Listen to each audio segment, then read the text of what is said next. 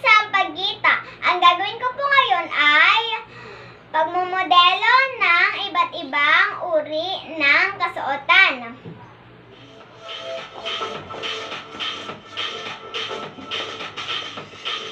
Bang.